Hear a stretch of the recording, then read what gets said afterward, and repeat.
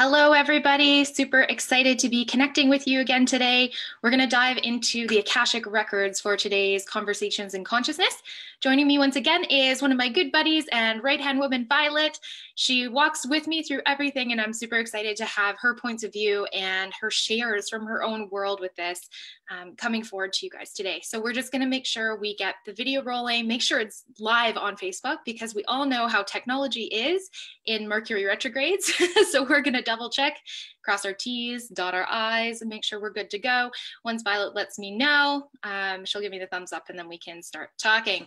Oh, I see somebody starting to like the video. So that means we are cooking. Excellent. Yeah, okay. looks like we're live. Um, yeah, we're going. So, hello, everybody. Okay, super excited for this conversation. The Akashic records were the bane in my like the bane of my existence for so long because they took me so long when I was first starting to get into them. And I actually want to tell a little bit of that story before we super get going because I know we have a lot of beginners in this group who are really doubting, you know, am I good enough? Do I have the tools? Am I going to be able to get all this information? Guys, this stuff, some of it came absolutely natural to me, and other things I had to work my tail off for to figure out how to get in there. And the Akashic Records at that time was one of those things. So I opened up to the Akashic Records probably back in about 2012. I had already started going through a pretty big transformation. My son was born, and I had started undergoing some training as an intuitive. I was really, really obsessed with like the Wiccan and pagan arts. I was obsessed with energy healing and Reiki at the time. And then somehow the Akashic Records fell into my lap. So, like a lot of people, what did I do? I didn't go to a training. I went and picked up a book. and this book is by one of the leading authors on Akashic Records. And I read it cover to cover in like two hours because I was so excited. And then I went to try all of the exercises and failed. it was like, I thought for sure because this person was the best and all the information was there and the steps were there that I could just follow the steps and in I would go and I would have these epiphanies and the visions would come to me and the movies of who I was in my past life would just appear and that really wasn't the case. And because of that, I got a little discouraged. And in fact, it probably took me about 30 sessions of meditations at that time before I actually got into the vibration and the frequency of the Akashic Records what I learned from that whole experience, though, is that there's an easy way to do things and there is a really long road to do things. And I had to really destroy and uncreate all the beliefs that, that I had still in my body that, you know, gaining a new skill had to be hard or that you had to really work for it to come true. I had to get rid of that before it would just flip on. Vi, do you want to share a little bit about your own experience with coming into the Akashic Records? Yeah, so uh, I heard about them through some friends who were uh, able to access them and were giving me some information. But I was like, I need, I want to know how to do this myself. I don't just want to have somebody tell me what's in my akashic records. Um, so I found a bunch of um, things on YouTube. So there's one that you recommend, Caitlin, usually to people. It's a it's a prayer. I can't remember who it's by.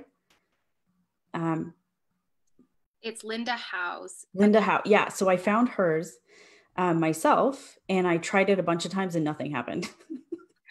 Literally nothing happened. I was like, well, this is stupid. So I just put that on the back burner and then joined your course, Caitlin, and we started doing a bunch of other stuff. And it wasn't until I'd been working with you for probably like a good year and a half before we kind of revisited the Akashic Records thing again. Mm-hmm. And then you led us through our class through a meditation to it. And I didn't see anything, but I felt the energy of it and it was really, really fast. And um, so that was new because the first time I tried the Linda Howe one, nothing happened. But this time I could feel like a, a, a faster energy. And so then I tried it again and same thing, faster energy, didn't really see anything or feel anything. And then I think on the third or fourth try, um, I actually started seeing what looked like pictures going by really, really fast. I couldn't see what was on them, but it was like they were flipping through really fast. And then I got really excited and it kind of booted me out of that meditative state. And so it took me a bunch of tries, uh, same type of thing. Um, yeah, uh, it was really cool the first time I saw the pictures flipping through. That that really validated a lot for me, but it took a lot. And then the when it actually came on full blown when I was able to access the Akashic records, funny enough, was in a workshop, an in person workshop. And I have found personally, I don't know if this is the same for everyone, but for me, when I come together in a group of people in person, like for retreats and workshops, that's when my abilities turn on and up really, really loud. And I feel like part of it might be that I'm open to the energy of the group, and some of it might be that they have the other people in the group has information or keys for me that if I'm open to it, I'm picking up on. So there's, I mean, there's a lot of potential there, but I know that every time I come together in a group scenario, my abilities like go through the roof. And that was the case with Akashic Records. That's my favorite thing about the retreats, the workshops, the women's circles is that once we can actually get out of our own way and show up somewhere with our energy field, there is infinite potential for us to pick up all of these different clues. I'm just giggling a little bit. Sarah sharing that she downloaded a book on the Akashic Records with the same thing in mind. Sarah, man, all the power to you. And I'm so glad you're taking this step because that's the first part of all this is actually having the interest and following through. Like we need to follow those nudges and start reading and start getting information. So I hope today's video is going to help you guys. I hope that some of the things I'm going to share will maybe debunk some of the myths going on in the Akashic Record community about what it is and what it isn't. And um, I want to share with you guys why I think it's the stepping stone that everybody should start with if they're a brand new beginner. Um, because I know that there are so many options out there for how we could start this intuitive journey. But the thing is, every time we hit a stumbling block, we're stuck we're kind of at a landmine. And what we don't want to have happen is us get to that point and be like, oh, well, I guess this, whatever it is, maybe you took an energy healing course, maybe you went to a retreat, maybe you went to a workshop. We don't want to get to a point where we just allow ourselves to get to another stop point. We want to be able to uncover what it is that we're bumping up against and start working through it. So that's what I'm hoping we can kind of chat about today and see what's going down. Hello, Allison here. Allison sharing she went to a level one Akashic course. That's awesome.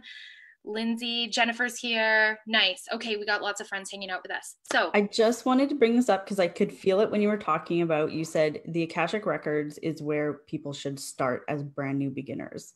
Yeah. That to me sounds like a backwards thing than what most people are thinking or feeling or have heard. Like it feels like the Akashic Records are the epitome of like when you can access them, you've arrived.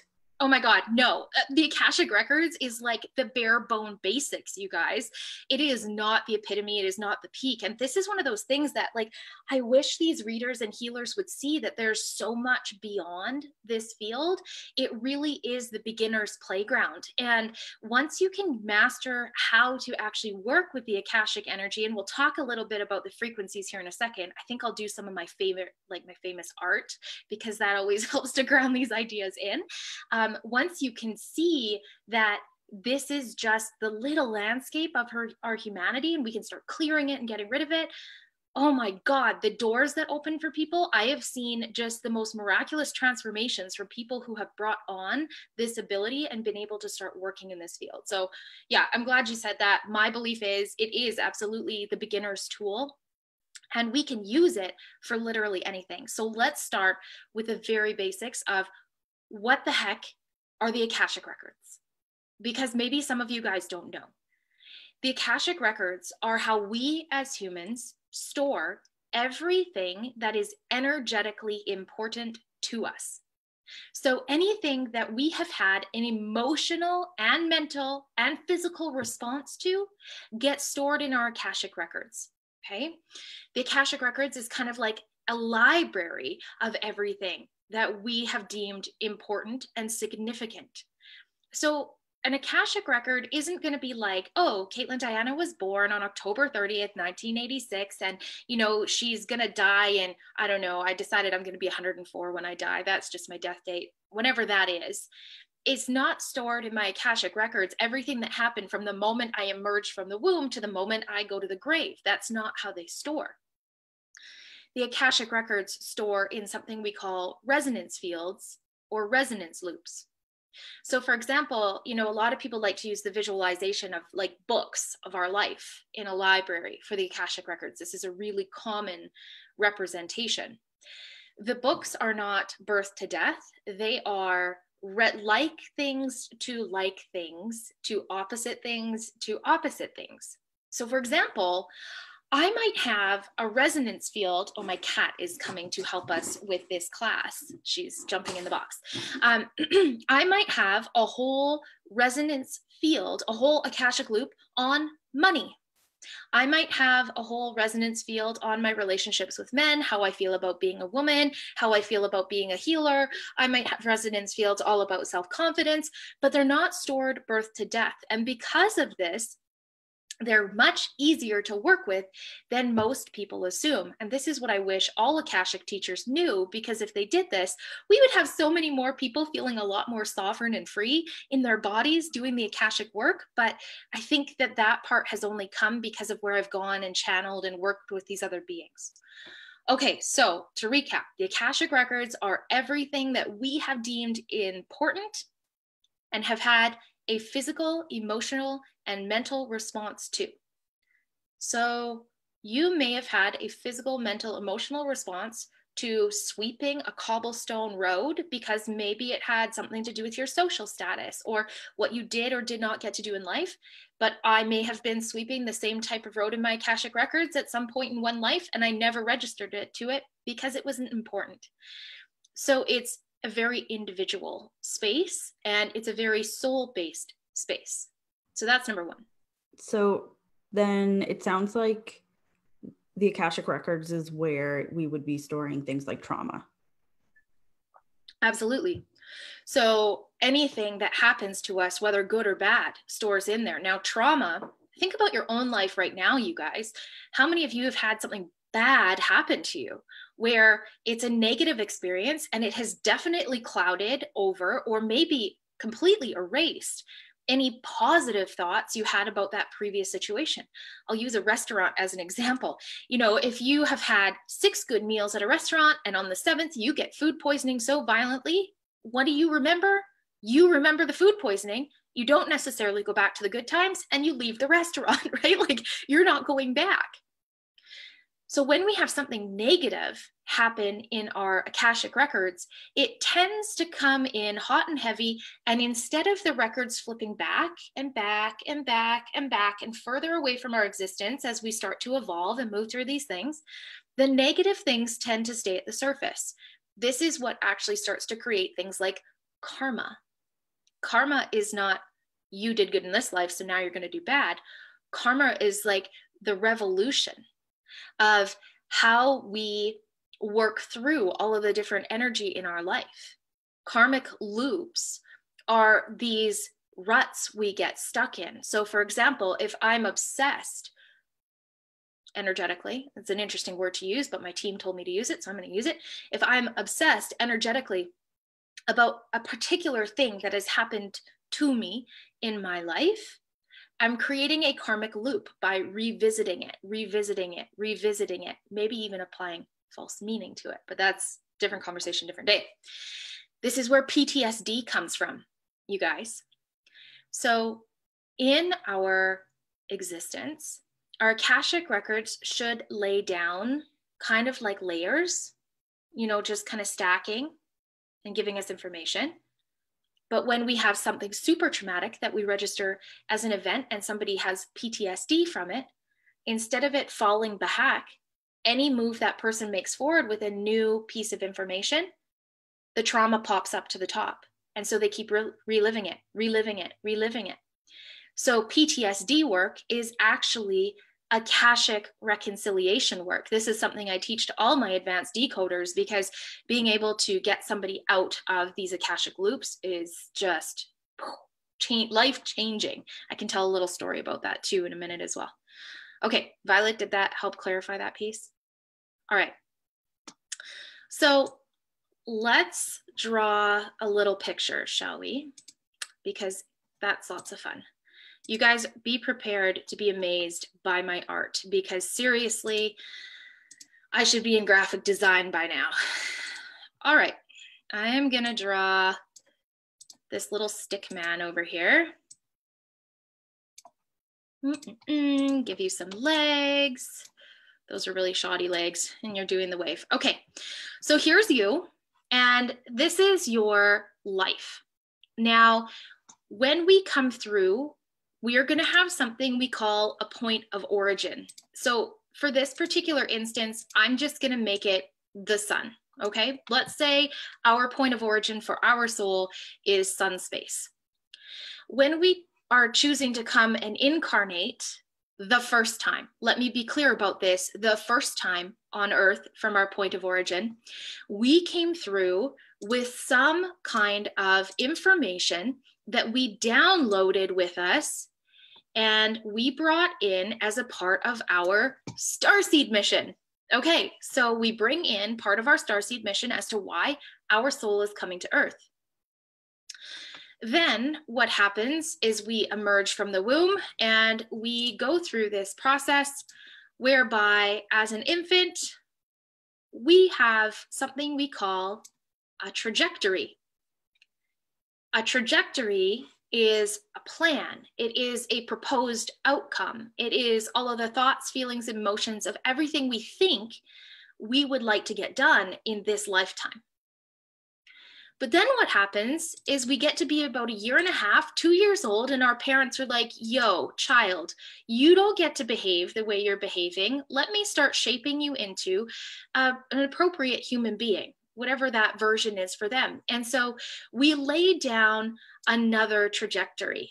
And this is the first trajectory we lay down as soon as our parents start in with discipline that we start shaping ourselves based on external circumstances around us.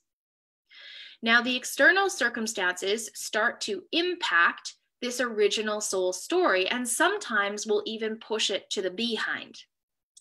Okay, then we get to four years old ish, and our parents are like, you should probably start getting smart. You know, you're really not going to make it in this world if you don't know your ABCs, your one, two, threes, and what color goes where and how to shove the rectangle in the rectangle hole. So our parents start instructing us in all of this knowledge that we need. And maybe we start into preschools, kindergartens, things like this. Now we start living up to a standard, or we start going into this space where we're trying to please other people with the knowledge or information that we have. We are trying to get into a little bit of the competition grid here because everybody wants to be everybody's favorite little ray of sunshine and the smartest kid in the class, right? So we start getting into the competition grid. Well, this keeps going and going and going for years. Now, I'm only drawing one line, but every time we have a change in idea, we get a piece of inspiration, we lay down a new trajectory. Okay, so remember, trajectory just means proposed outcome and plan. Example, a trajectory could be let's say Violet came to me and she's like, I'm going to change careers. I'm no longer going to be a part of your company and what you're doing. I'm going to be a recycling maven. Okay, Violet, she just made a new trajectory. She's made a new plan. It's going to bump down all of the other trajectories. And the original soul plan is going to get a little bit more buried because we're shaping our experiences based off what's happening in our external environment rather than taking inspiration from our, our original soul story. Okay. So we keep going like this. And then sometime around like usually it's about 15 years old. 15 is a very difficult age for most children. We get one more huge hormonal spike. And at this hormonal spike is typically where we receive our first big realization back from our soul story now, if you guys think back to 15 years old, you may have thought about, like, oh my God, I would give nothing to just like, or give everything just to be independent again. Like, if my parents could get out of my face, right? You have these moments where you start getting a thread of your own independence, and it usually happens around this age. Now, this download, we usually distort it. And you'll notice I drew this download through each of these trajectories each of these trajectories takes the information. It's kind of like a ping pong ball machine, like you guys have seen those, and it the ball goes back and forth. And it's like ding, ding, ding, ding, ding, ding, ding, ding, ding. And by the time it comes out your brain and your mouth, it has bounced up against every other idea, thought form, belief, everything you know to be true, and eventually merges as your own version of truth.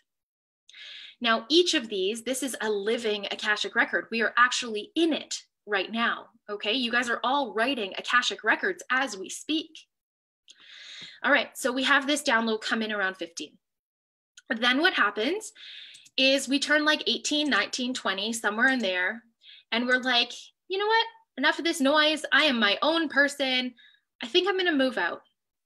And we go out and we're like, yeah, I'm going to go to school, going to get a career, going to go to this job. Maybe you're thinking you're going to have a family, and you start laying down trajectories still based on societal expectations. So, everything that happens in those formative early adult years for most of us in this group, not so much true if any of you guys are under the age of 24 years old. A lot of you guys who are star seeds in that age group, you'll have a little bit different story to this. But any of you guys that are like 28 and up, this is going to be very familiar to you and let me know in the comments if i'm kind of hitting your life on the head right now. Okay um, around this age yeah that's a great question. We'll talk about that in a sec Vi. Um, around this age we have our next big aha from self. This next big aha from self comes from this original star seed and it bypasses some of the old trajectories and we get a hit on this current life that we're living.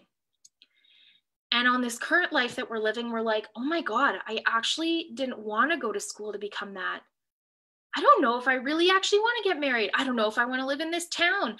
And so, sometime between 25 to 28, sometimes 30 years old, we lay down our first soul led trajectory of what we think to be true for self. And around this age, around 30, because we have our first Saturn return, which is every 30, 28 to 30 years, we start getting hit with all of big life lessons and we start having these big ahas about everything we need to tear down and put back up we have this first realization of like, oh my God, I don't even know who I am, who I've become, but I know I'm not exactly this. And I know I have to find out why. So we start searching. And at around 28 to 30 years old, we start opening up and we start going, what else is possible? Maybe we're going to have our first spirit guide encounters. Maybe we're going to come across a healing course that inspires us. Maybe someday, by some miracle, a star seed quiz crosses your Facebook timeline, you're like, oh, that describes me to T. and we start seeking. Okay. And this goes on and on and on. And then around 39, 40 years old, we do another one of these big epiphanies and a pivot. And then it starts usually happening by the decade if we're slow, by the day if we accelerate. Okay. So, question that came in from the chat that Violet just shared with me um, was how do we unbury the original star seed trajectory? Okay, hold the phone, watch this. You guys mind blown already? Let me know if this is like, oh my God, a little bit to us. Um, so, what if now we draw on a calendar year? Okay, so let's go January, February, March, April, May. Well, my lines are getting big there. That was a big month. June, July, so on and so forth. Okay. Let's draw on a calendar because we all know we're on this wheel of the year, right?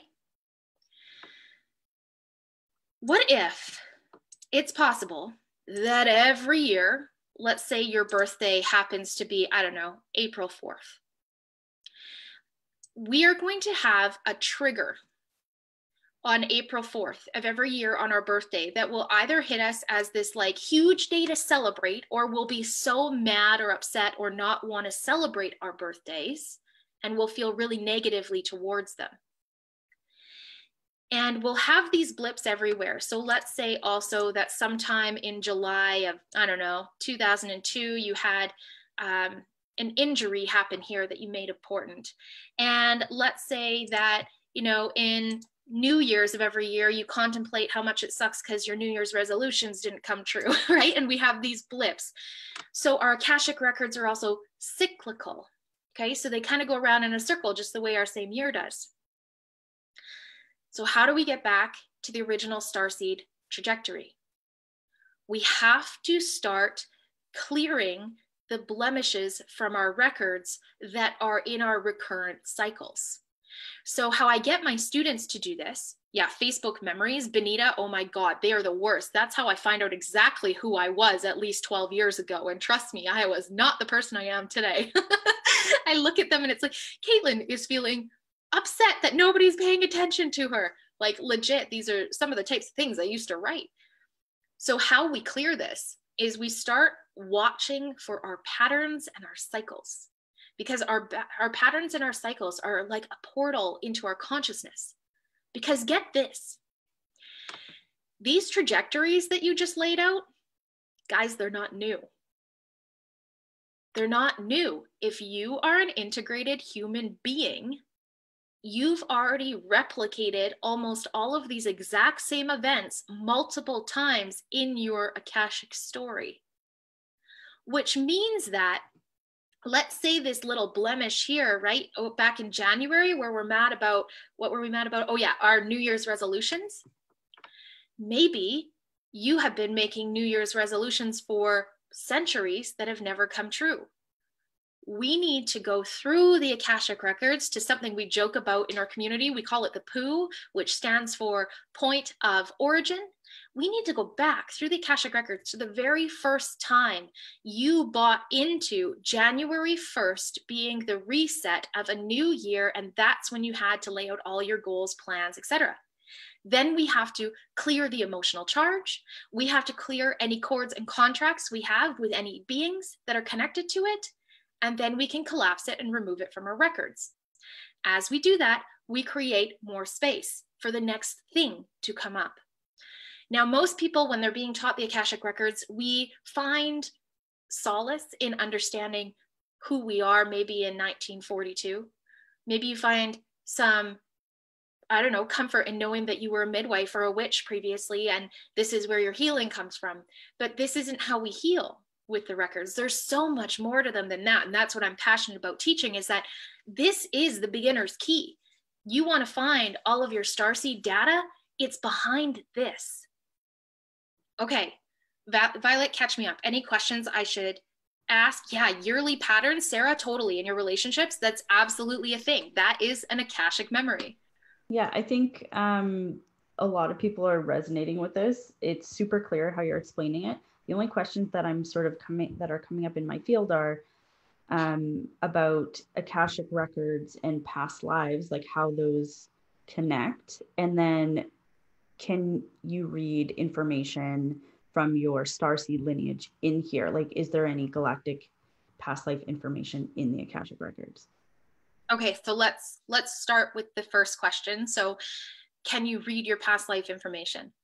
Parts of it. Yes, anything you sealed into the Akashic records that was important to you. So if you if if it was important to you that you were you know a healer in that life you're going to be able to see a whole bunch of information or download a whole bunch of information about what kind of healing you did. Were you into plant medicine? Were you a quantum healer?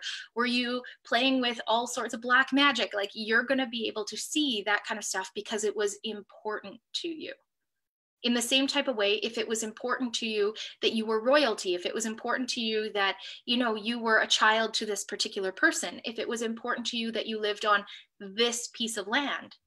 Because we can this is interesting uh, we can anchor parts of our akashic records through cording to certain parts of land. And so some of us might have akashic memories anchored into and corded to things like oh my the thing that sang to my soul forever i wanted to be in scotland. Like put a man in, kil- in a kilt play the bagpipes and oh nelly i'm done. Like that's my thing. And what i figured out in my akashic records is that number one a lot of my first human memories were in scotland playing with a lot of the druidry the magic being in that type of culture in you know doing all of the folklore dances. I did a lot of singing. I still sing a lot. If you guys hang out with me you'll get to know that. Um, and when i hear any scottish gaelic dialogue coming through i can sing it and i have no idea where it's coming from. That's an akashic memory. Okay so those kinds of draws are also there. Does that answer that part? Yeah i think it does Okay. Um, Alicia just posted something really interesting. She said, so they're like a keepsake box for your soul. Yes. Okay. And here's what you guys need to know. When we do something called collapsing the Akashic records, we're not destroying them. We're taking out the cyclical nature from them. We're taking out the emotional charge so that we can read them more like an encyclopedia rather than a raunchy, like romance novel. Okay. Hope that most of you can understand the difference between that, right? We know that reading an encyclopedia, we're usually dry eyed and we're like, cool, interesting. Oh, look, that's neat. We get into a novel that we absolutely love and we're like, oh, whoa, this is so cool. Yeah. And you get the feels. Maybe you're crying, maybe you're laughing. We don't want to have that big charge to our Akashic records because if we do, we're going to keep reliving them we want to be able to witness them as they've already happened and to evolve from them. Okay. So the second part was can you read your star seed information from the Akashic records? No. The Akashic records are actually a draconian installation for the reincarnational cycles of humans to keep us on these loops, and they use it like a battery pack.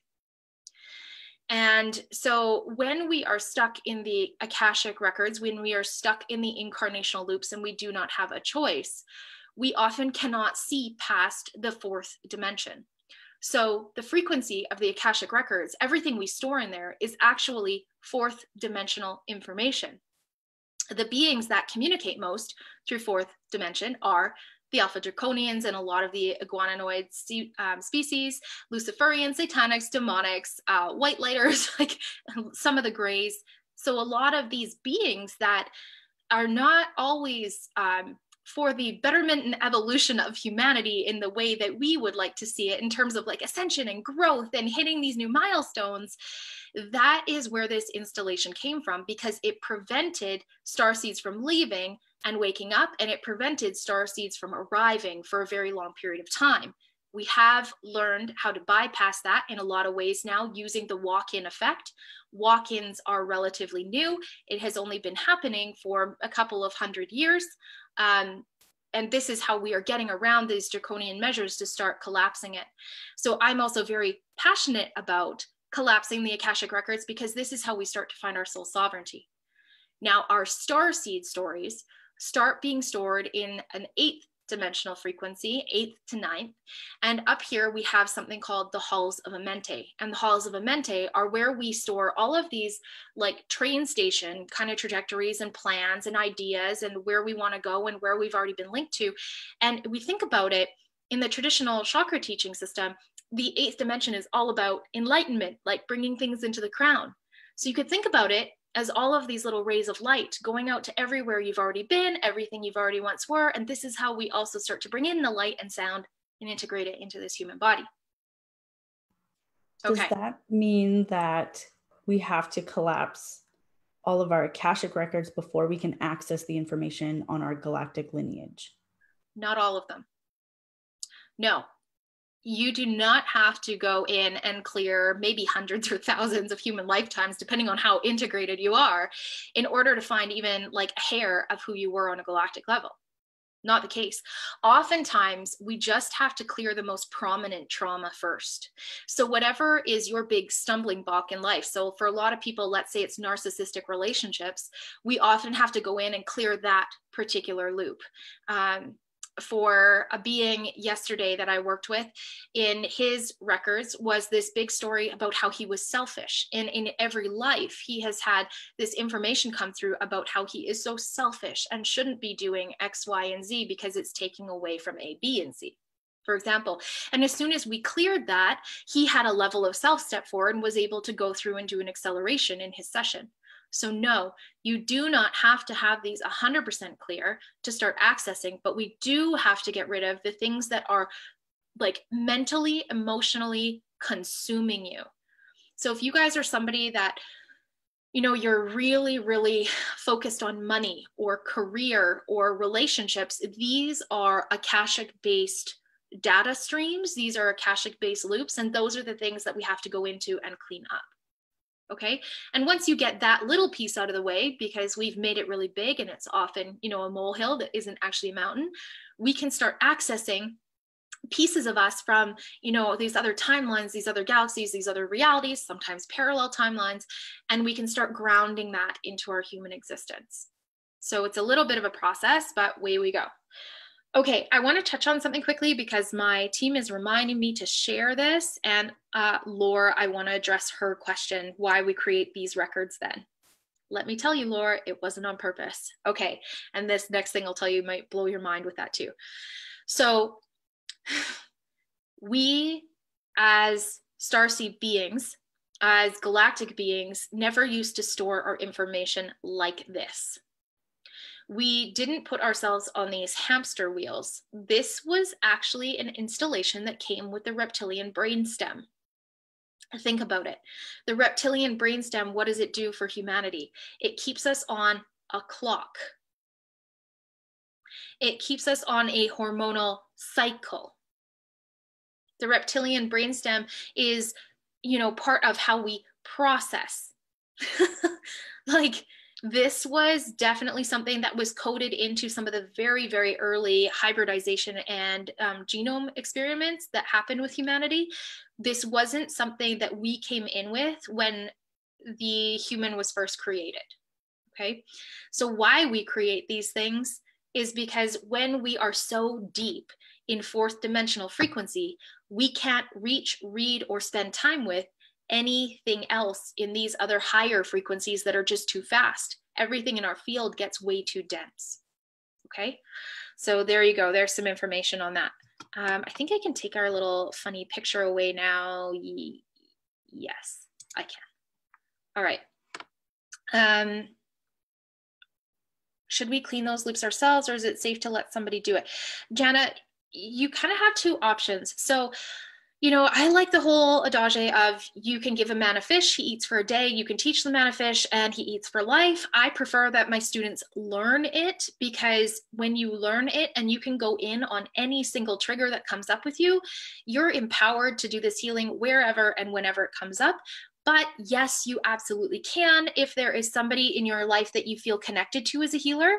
Um, you can absolutely go into an Akashic session if they know how to do the collapsing. A lot of the Akashic courses that are out there and a lot of the healers at this time that are doing it are just reading the information and validating things you already know rather than helping you with the evolution that comes on the other side of that piece of information. So that's just what you would want to watch out for when you are looking for somebody to help you. Okay, that piece is really, really important. Vi, I feel like you have something like a question to bring in. No, you're okay. All right. Natalie's sharing all of her relationships have been with narcissists. Okay. Um, Sarah, never feeling like I fit in any community, just a starseed thing or Akashic. Uh, Akashic.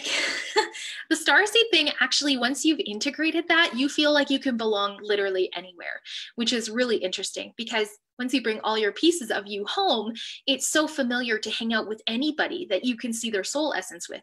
But the Akashic Records is all about separation. It's all about keeping you distanced and away from code. Think about this.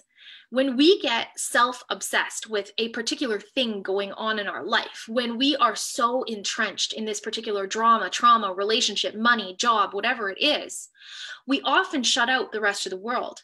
And as we do that, our sensors are off and we're not necessarily bringing in the frequencies and the understanding and the coding to help us move through to the other side.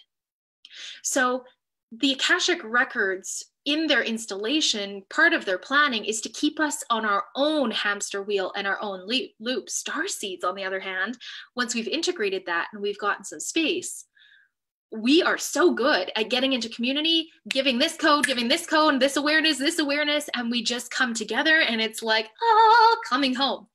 Now, I will say to you, if you have never been around a awakened starseed in person, you need to because and violet maybe you can share more of your experiences with the retreats. And you know if any of my students are on here that have been to some of my retreats if you guys could share um, that experience how different it is being digital versus coming together that would be awesome.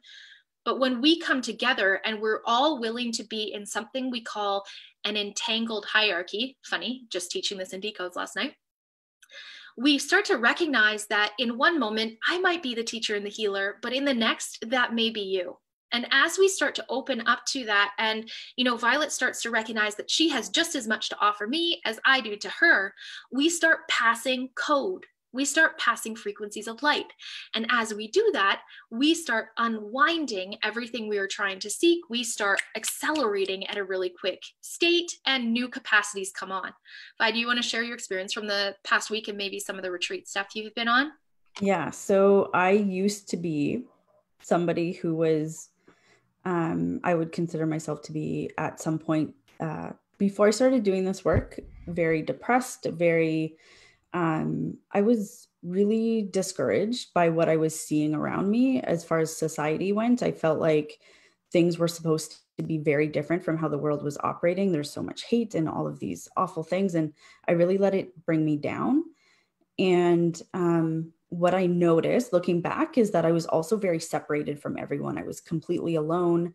I would consider myself to be a lone wolf, you know, and I don't think there's anything wrong with being good on your own. I think that can be very empowering. But I was taking it to a place where I was completely cutting myself off from everyone else.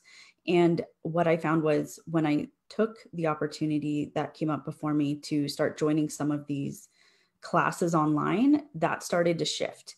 Um, but it also only took me so far. So what I noticed was there were certain people in my classes that I was automatically having a connection to um, like they were sort of interesting to me, or um, I don't really know how else to explain it. We probably had cords and contracts to each other. So they were like um, more in my awareness than some of the other people in my classes.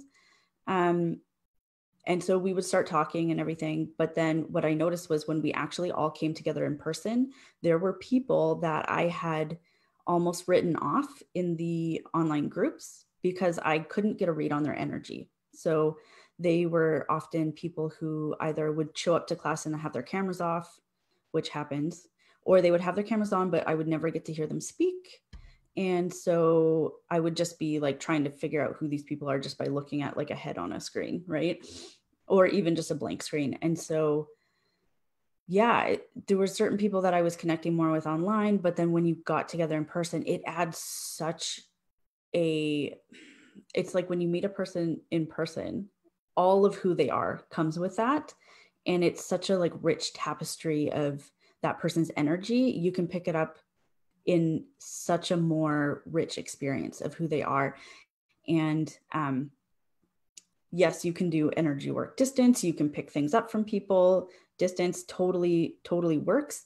But being in person with other people is just something beyond anything. And so what i found was there also seems to be, and I would really love to hear everybody else's perspective on this, if this is something you've experienced, this feeling of I am all alone. Nobody understands me. I am not wanting to get together with other people. I just want to stay in my house um, because I need to protect my energy. All of these sort of thoughts and feelings and beliefs that keep circling that makes you actually feel more separate from everyone. And so what I would encourage you guys to do is if you're getting sort of an exciting feeling, if something comes up to get together in person, like a, a, circle in your community. I know things are a little bit dicey right now with everything going on in the world with getting together, but um, you know, take those baby steps. If it's an online circle first, like being here in this group is like huge. It's huge. So you guys are part of this family and we are all here together. But taking the next step and actually meeting people in person provides so much more value. And I know for me, like I said at the very beginning of this, all of my abilities have amplified and come up so much louder and stronger when I was in a group situation.